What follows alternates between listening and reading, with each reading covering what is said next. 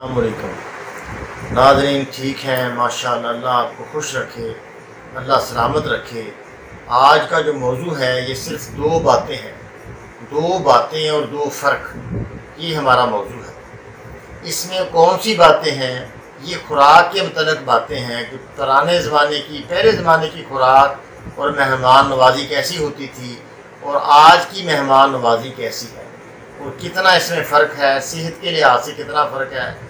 पहले ज़माने में जब हम छोटे छोटे होते थे तो जब मेहमान आते थे हमारे भी आते थे और कोई इलाके में, घरों में मेहमान आते थे तो दूध बहुत ज़्यादा होता था। उस वक्त हमारे घरों में दूध बहुत ज़्यादा होता था, क्योंकि भैंसें, मवैशी ज़्यादा होते थे।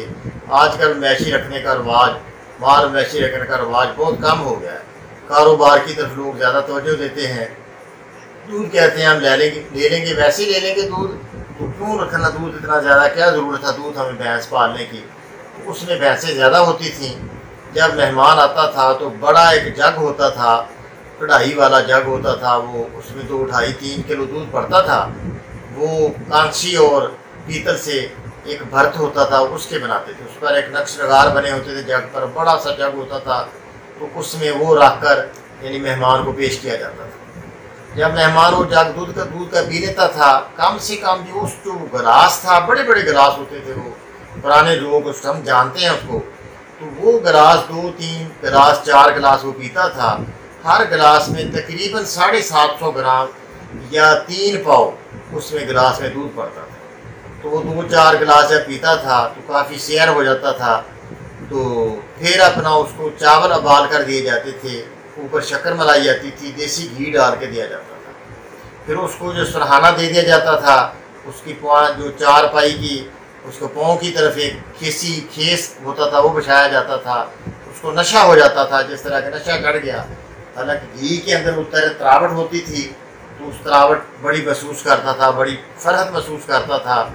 उसकी वो नींद उसको आ जाती थी। फिर दो घंटे सोता था, फिर वो उसकी चला जाता था। मेहमान जो थी, मेहमानी हो गई, उसकी आराम भी उसने कर लिया और चला भी गया। अब जो मेहमान आता है, अब जो, अब वाला मेहमान आता है तो पुराने ज़माने में, पुराने ज़माने में जब थक जाता था बंदा, वो थका हुआ बंदा तो उसको घी दिया जाता था। सुबह वो छांग लगा कर उठता था। आज जो है, आज वाला जो बंदा थकता है तो उसको डेस्क्रीन दी जाती है। पुराने ज़माने में घी दिया जाता था, देसी। आजकल डेस्क्रीन पोस्टों वगैरह देकर उसका इलाज उसका किया जाता है। डेस्परीन पहले देते थे, आजकल डेस्परीन देते हैं पोस्टों देते हैं, चाय देते हैं। तो कहते हैं, अब सो जाओ, ठीक हो जाओगे आप। वो ठीक तो हो गया, लेकिन क्या सेहत उसको मिलनी है? घी के मुकाबले में डेस्परीन किस तरह घी का मुकाबला करे। तो आजकल जो है, मेहमान जब आता है तो उसको पहले हम पेप्सी पिलाते हैं, फिर उसको चाय पिलाते हैं। अब पेप्सी में आप खुद देखें, पढ़ के कि तीन तजाब इसमें बनाए हुए पेप्सी के अंदर तीन तजाब हैं। तो तीन तजाब जब उसके अंदर जाते हैं तो मैदे के अंदर सुराख नहीं होने तो और क्या होना है? फिर पेप्टिक अल्सर नहीं होना तो और क्या होना है?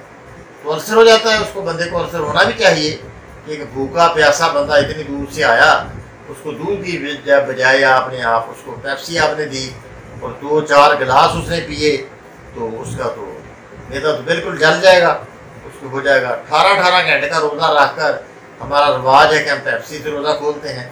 अल्लाह माफ़ करे, कितना नुकसान होता है। बिल्कुल ये आप हमत की लैन से इंतहाई गलत बात है कि ऐसा रोज़ा रख कर पेप्सी से रोज़ा खोलना ये ठीक नहीं है। ये रवैया। इसी तरह मेहमान को पेप्सी पिला के फिर चाय पिलाती है, पिला दी जाती है। कोई दुश्मनी करने की ज़रूरत नहीं है उसके साथ।